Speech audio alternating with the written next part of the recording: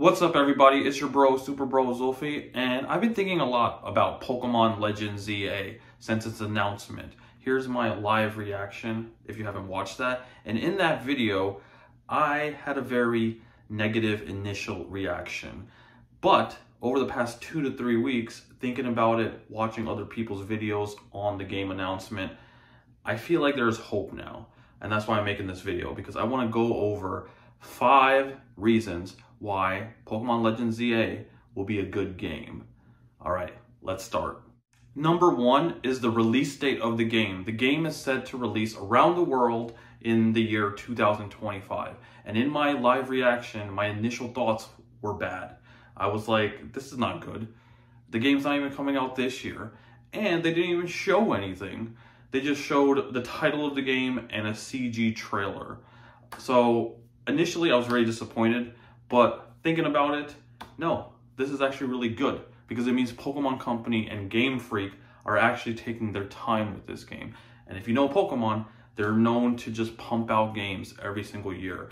They don't, you know, hit the brakes that often. So the fact that we're actually going two years without a Pokemon game, because last year, 2023, we just got DLC for Scarlet and Violet, and then we're going to go 2024 as well without a Pokemon game, means Pokemon might be learning and are actually going to put some time and effort to crafting a masterpiece of a game. Hopefully that's true. Number two, Mega Evolutions are back. I absolutely love Mega Evolutions, and I'm sure I'm not the only one in that boat. I'm sure there's a lot of Pokemon fans that absolutely love Mega Evolutions. I think Mega Evolutions is like the best thing that came out of the Kalos region. And I know there's competitive players out there that aren't on our boat because it broke, you know, VGC, the competitive scene. But the great thing about this is that Pokemon Legends ZA is a spin-off game. It's more of a casual game. It's focused on just having fun. And now we get Mega Evolutions and we can just enjoy them and we don't have to worry about using them competitively. If you're a competitive player, I think a lot of people will appreciate them more in this style of game. And I think all of us Pokemon fans just really like seeing new evolutions for older Pokemon. So I'm really excited about that. And I think that's going to help Pokemon Company and Game Freak with game sales as well by playing on our nostalgia, giving some of these old mons that we love new forms. Number three is the fact that this game takes place in just one city. Yes, this has been confirmed that the whole game will take place in Lumino City, which is the city that we saw in the trailer. And it's going to obviously take place in the past because there was like a development plan that was shown off in the trailer. So we're going to be playing through the earlier days of Lumino City. And I think this is great because this gives the game more of a focus. The game isn't going to be as open as Legends Arceus, but I'm not complaining about that because a lot of the areas in Pokemon Legends Arceus were very forgettable. Like it's hard to remember certain areas in that game because there's no like landmarks or whatnot. Uh, the only thing that's really memorable about Legends Arceus is Jubilife Village, which is where uh, the game mainly took place. It was the main town of the game. The fact that Lumino City is the only place we're going to be in is great because they get to really put in the work and the effort to flush out the city.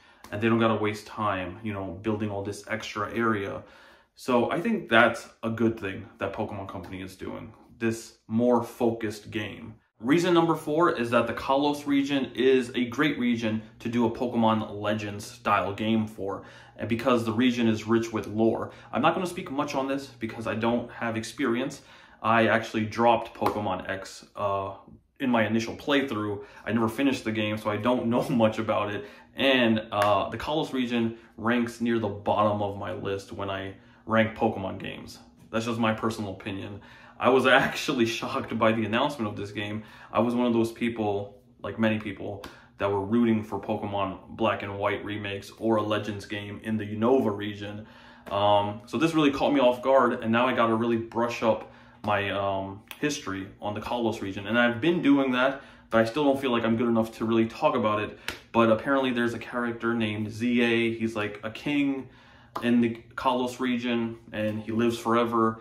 So there's that they can touch upon. And they can also touch upon the Pokemon Zygarde and the history connected to that Pokemon. apparently there was also a war that took place in the past in the Kalos region that I don't know much about, and apparently a lot of Pokemon fans don't know about because there's theories and speculations out there. But the point I'm trying to make is that this game is rich with lore, or can be rich with lore. The region is rich with lore. So now it's up to Pokemon Company and Game Freak to, you know, use that in their game. Reason number five is that this could be the best looking Pokemon game and the smoothest running Pokemon game we have ever gotten. And I think it has to do with them spending a lot of time on the game, but also the failures of Pokemon Scarlet and Violet. With how buggy and glitched those games were, I'm sure Pokemon Company took notes and they're not going to make the same mistake again. Even though I heard Pokemon Scarlet and Violet were enjoyable from the gameplay perspective, the glitches and the bugs made the game unplayable for a lot of people. And when I saw that, I chose to skip those games. I haven't even played Pokemon Scarlet and Violet because of how glitchy um, and buggy the games were. It felt like Pokemon Company didn't put any effort into the game and they just ran like garbage. And I didn't feel like giving them my money. Uh, I voted with my wallet and chose to skip the game. And I kind of regret it a little bit because I've heard from people that the games are actually quite enjoyable if you can just look past the bugs and the glitches. Um, so I think Pokemon Company is going to learn from that and they're really going to iron out all the kinks. And the fact that it's also taking place in a city means they can focus more on detailing and just, you know, a smaller engine. They don't need a game that needs to render in huge places, even though I hope the city is a huge space but I feel like we're still going to get the similar style where we're going to get different zones.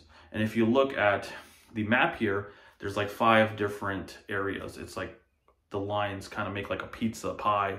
So I think those are going to be like the areas we explore in the game. But I definitely feel like the games are going to run a lot smoother. And there's also rumors or theories that the game could also come to the next console as well. It is confirmed for Nintendo Switch, but because the game release date is in 2025. And there's also speculations that we'll be getting the next console in March of 2025. There could be a dual release situation happening with this game where we get it on the next platform and we get it on the Switch as well. And obviously, uh, it'll run smoother and look better on the next console than it does on the Switch. So yeah, I'm going to hold out hope that Pokemon Company is learning from their mistakes. They're putting in the time and effort and they're going to make this the best looking Pokemon game to date. So yeah, those are five reasons why I think you shouldn't lose hope for Pokemon Legends ZA and why there's potential that this game could be good.